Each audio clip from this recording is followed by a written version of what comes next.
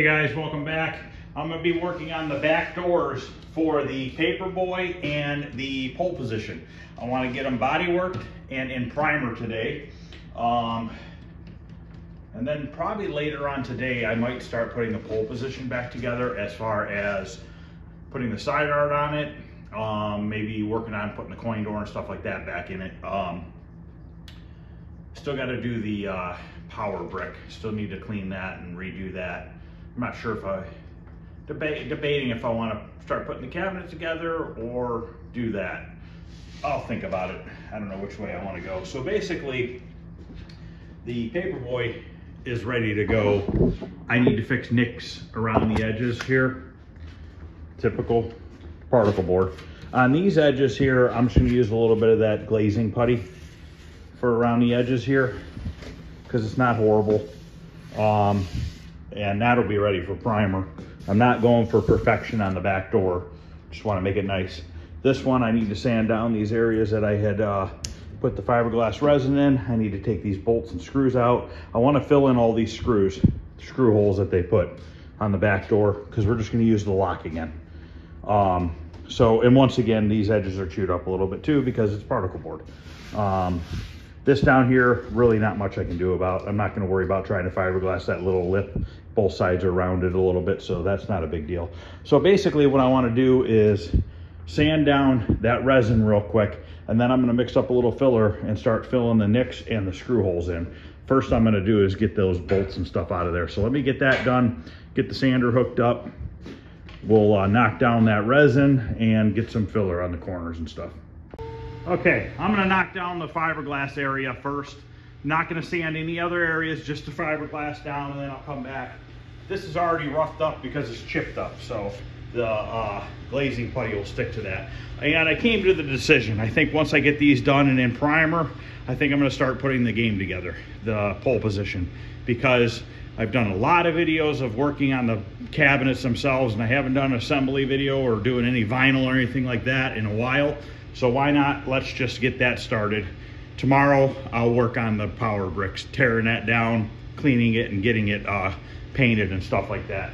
So after this video later on tonight, there'll be another video of me uh, working on putting the pole position together. So I'm just gonna knock this down real quick with some 80 grit.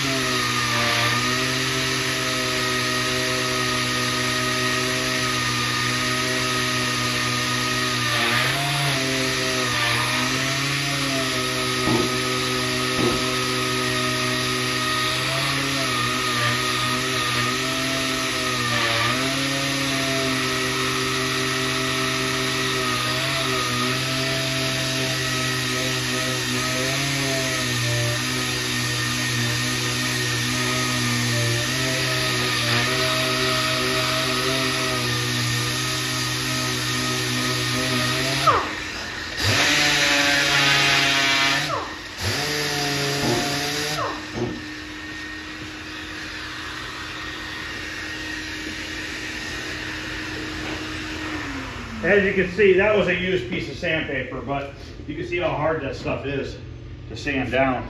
But it's nice because now it's got nice straight edges. So let me mix up a little bit of that glazing. We'll put it on here. Um, I got to run to Lowe's while that is setting up.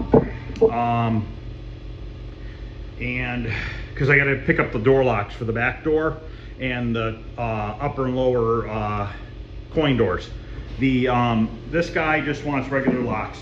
My basement, all my games have the same lock, same key, but he doesn't mind, so we just get regular ones from Lowe's. I think they're about five, six bucks a piece on average. So let me show you what I'm gonna use here.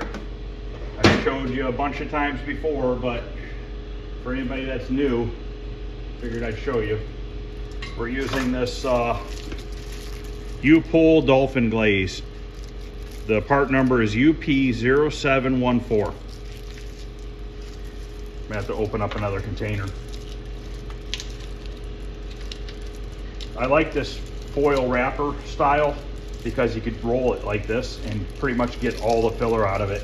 When I use this brand, same thing, U-POL, but when I use this one, when it gets low, I gotta literally slice it open with my knife to get the rest of it out. So it's kind of a pain.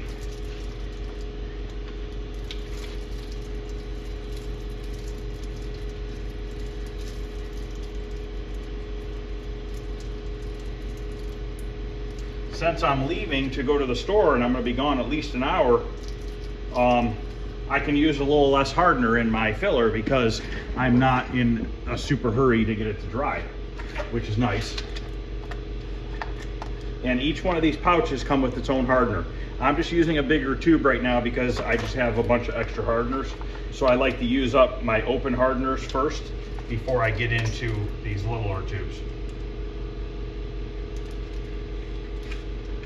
And another good thing to practice when you're using this stuff, the hardener, is to crack the lid a little bit and knead the hardener inside the tube. What that's doing is mixing it back up. If you guys have ever used Bondo hardener before and you just open the tube and you squirt it and you get a bunch of clear liquid out, that's supposed to be mixed in with the hardener itself. So by kneading the tube back and forth, you actually mix that back into the hardener. I don't know, I'm guessing it's like a resin or something like that. I'm not positive.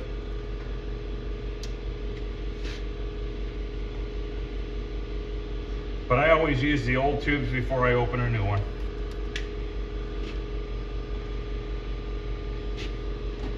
And you could buy extra hardener tubes. I usually have to buy extra hardener tubes because depending on the time of year or how cold it is, or if I'm doing a repair real quick for somebody and it's outside, like on a car or something, I have to use extra hardener. So I just end up buying extra tubes, which they're not really cheap. They're like eight, nine dollars a tube nowadays, but you need it. So we're gonna mix this up. Don't stir it. The worst thing you can do is stir this stuff. Stirring it creates air bubbles and air pockets in your filler. Just so just kind of smash it down and work it around.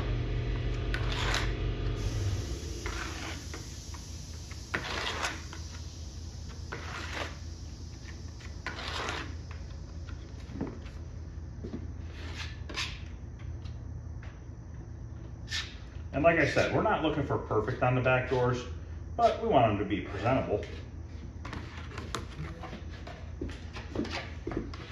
I know nobody sees it, but still. You gone this far, you might as well go the whole way. That's my opinion. And like I said, I'm not worried about scuffing up the back door to get this stuff to stick because the back door is already rough. And we're gonna sand off 90% of it. Basically just uh, putting it on heavy so that it fills the nicks around the edges.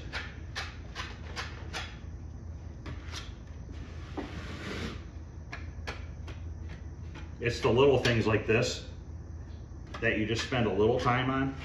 You don't necessarily have to make them perfect, but by spending a little time on them, it makes all the difference in the world.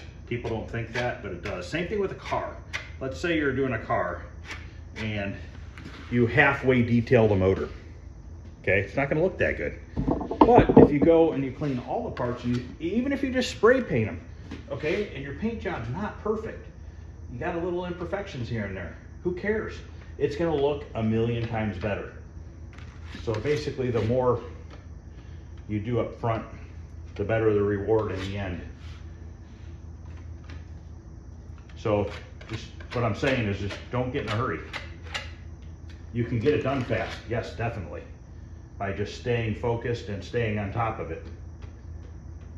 But when you see little things like this, why not just fix them real quick?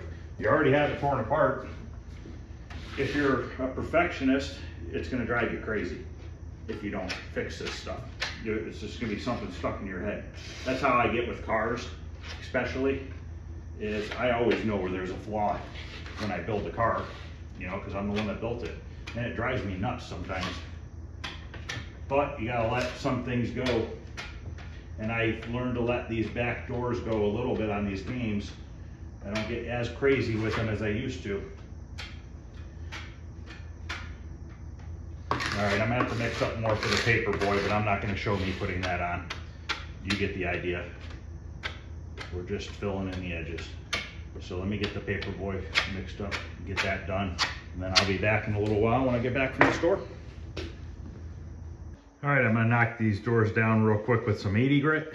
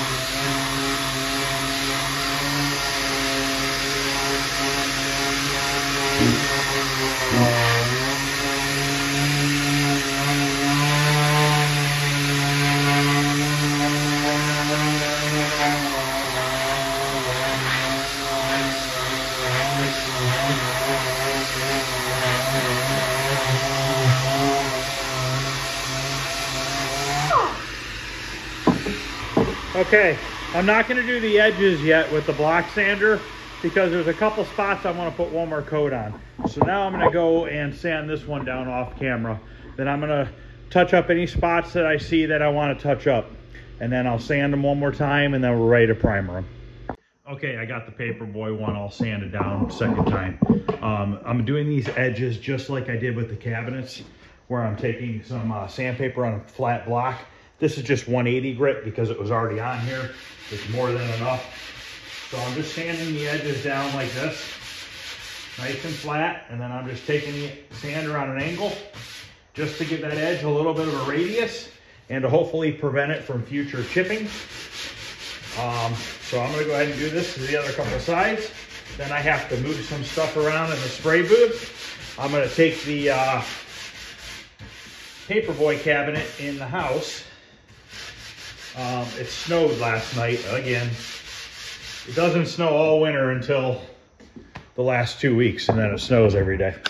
So I'm gonna have to dolly that up there in the snow. Luckily the driveway's melting.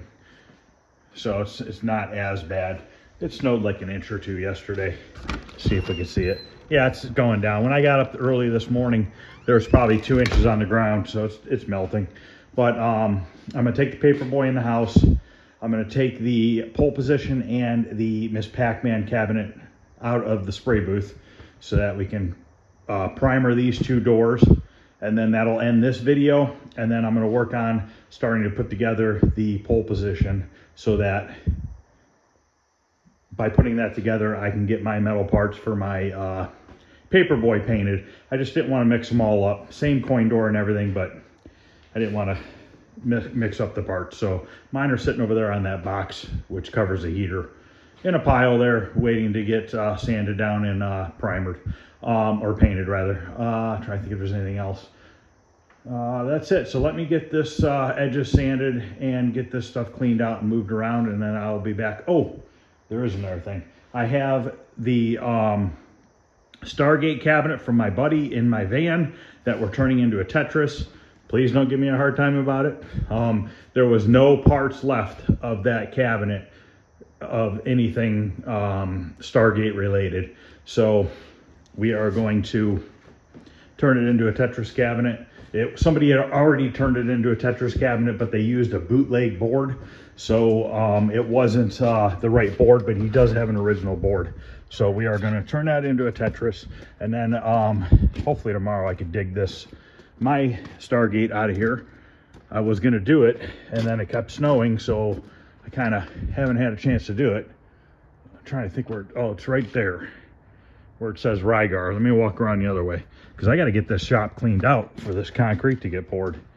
Um, it's right over here, this Rygar cabinet. Somebody had put casters on the bottom. I'm going to take those off and put the leg levelers back on it. I don't want the casters because I have a vinyl floor in my basement and this thing will be rolling all over the place while you're trying to play it. Now, on this cabinet, the original artwork is under here. You can see the copyright circle for the R, sort of, right there. Um, I'm not even going to attempt to try to save this it's beat up pretty good. And I want to show you guys how I paint stencils anyways. And I figure this is a game that's not worth as much money as some of the other ones that I did touch up, which were um, Sinistar. I fixed the original artwork. Uh, Bubble, was it? Yeah, Bubbles, I repaired the artwork. Uh, Satan's Hollow, I repaired the artwork. Solar Fox, I repaired the artwork. So I haven't actually done a set of stencils on the um, channel yet. So I'm going to be doing it on here and also on this Burger Time cabinet because this Burger Time cabinet has a lot of planking in the in the plywood. Um, Pac-Man cabinets do the same thing where it gets to the point where you have to sand it down to get rid of all the nicks in the plywood because what it does is it's like it starts delaminating just a little bit. Um, and also I scored an original screen bezel for Burger Time that's in almost perfect shape. There's a couple little nicks in it and we're going to fix the nicks on the backside with some craft paint and then we're going to triple thick spray it on the backside. So we'll have a nice glass original screen bezel for the burger time. Um, and i believe i don't know if i have a control panel or not yet for burger time. If not we'll we'll, we'll use this one which should be fine because i don't think it's ever been drilled out. So yeah actually i don't think i have one so we'll be using that one. And then this is another future project here. We have uh, Carnival. I have two Carnivals, actually. I'm to take the better of the two cabinets. Tempest is sitting back there next to the Gorf that needs to be done. Um, my buddy's got a bunch more games that needs to be done. So there's quite a bit of restoration is going to happen in the next year here. Um, especially because I need to get a lot of this back area cleaned out. So I'm going to quit talking now get the uh, spray booth moved around, cleaned out, get these in there so we can uh, spray three heavy coats of primer on them just to give them a nice seal on them. And on the bottom, on the insides, I'm not gonna touch them. Just gonna leave them as is. It's original particle board, just let it be how it is. So I'll be back. One more thing I wanted to do real quick before I uh, put these in the spray booth is these some of these holes got some fiberglass resin in them. So I'm just gonna take a drill bit and drill out the resin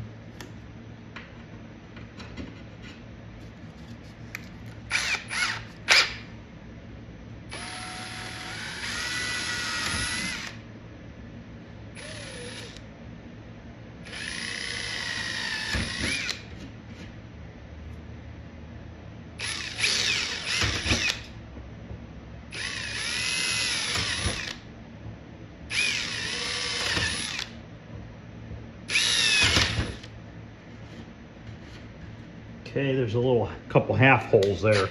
Use a smaller bit.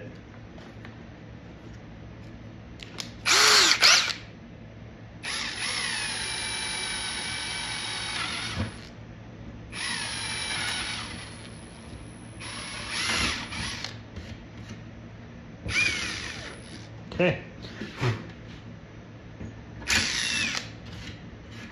There we go. That looks much better. So I will get them in the booth and we'll get some couple coats of primer on them. Okay, we're gonna get some primer mixed up here.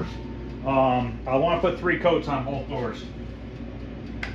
Uh, I got another can of primer mixing up. There's only a little bit left, but this is what I use, the 2K urethane primer from Summit. It's a four to one mix, and then I put some reducer in there because you can see how thick it is right out of the out of the container. So I'm gonna scrape out what I can out of here, pour this into the cup, and by that time, the rest of that primer should be mixed up. You gotta really mix this stuff up well because it settles to the bottom.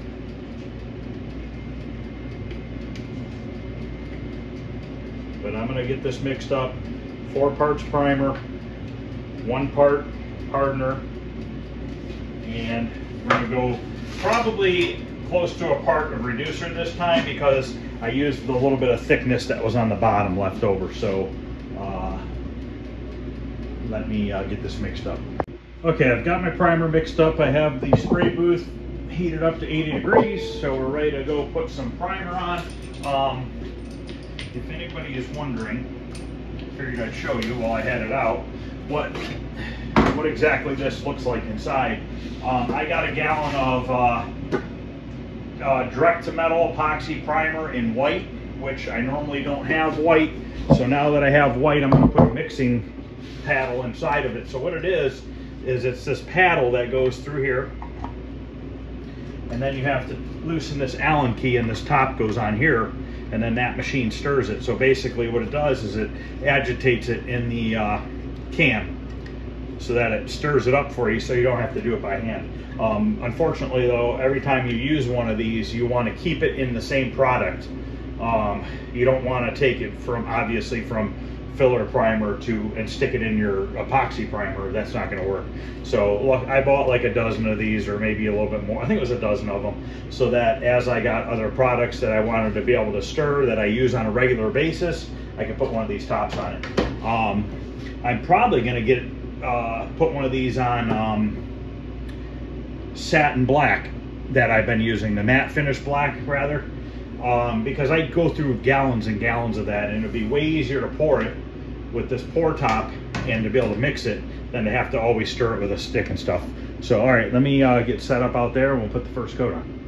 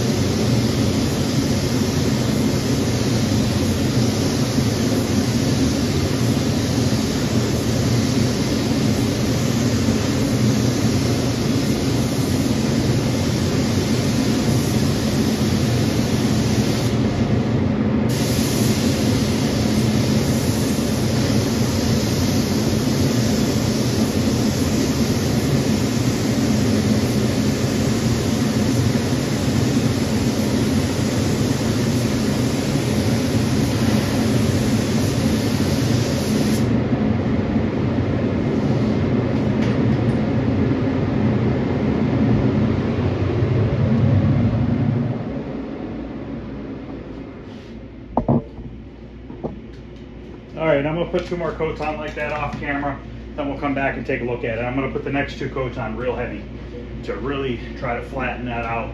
And then it'll sit and I'll probably paint them tomorrow, sometime tomorrow. Um, so after I get the last two coats on, I'll show you what it looks like. We'll end this video and then later there'll be another video on starting to put the pole position together. Okay, I ended up putting four coats on because I mixed a little bit too much up for my second batch. I loaded it on really heavy. All this texture and stuff that you see should all sand out. It should actually turn out really nice.